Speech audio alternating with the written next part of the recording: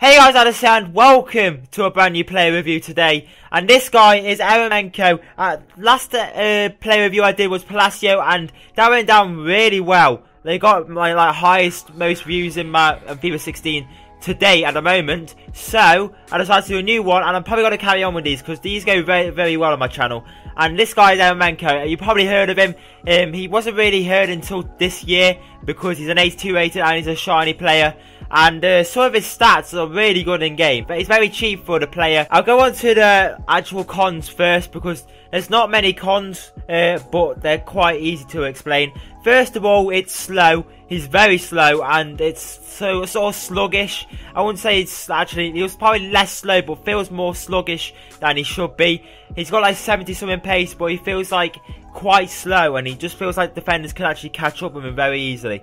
Secondly, we got his his nation and his nation and his league. I don't like the Russian league at all because I think every time you play with it, um, it just lets you down. There's players in there in there that are good. Hulk, uh, Witsel, all of them are good, are good in there. But for some reason it never performs, especially Akinfeev is the shittest player ever, uh, shittest goalkeeper ever played and also his nation. He's fi he's Finnish, I think he is. So um, whoever wants to play with a Finnish team, you can. So we'll go on to the pros now. First of all, he's a very cheap card, as I said earlier.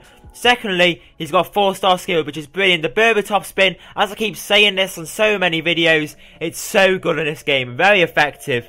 Uh, and his next stat is is definitely the best thing about him, and that's definitely his long shots. Some of the goals you'll see are absolute belters. They're so good. Like, I, think I scored one from like 40 yards out, so far out, and it went top bins. It was so good. If you haven't used his long shots, he's very good for like compilation goals. So if you're trying to get some like uh, montages on, definitely use this guy for skills and also long shots.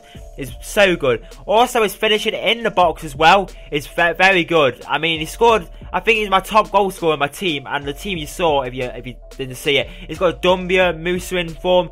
And he's got a top, he's a top goal scorer, especially most of his goals are from outside the box, but there is like a couple that he got inside the box, both left and right foot he scored, which is very good. And finally, his pace is, um, his passing, I mean, his passing is very good. I mean, the best part about his passing is definitely for like the like the over top balls or the balls to cross the pitch which are very good in this game, especially with him. They always get to the right player when you need him, and especially when their defence has gone to one side and lob it over to the other side, where they've got so much space, is the best thing about it.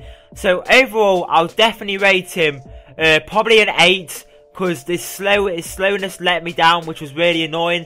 If he had if he had a bit more pace, it would be so good. And also, if his uh, nation was probably like, let's say France, but it probably it will never be.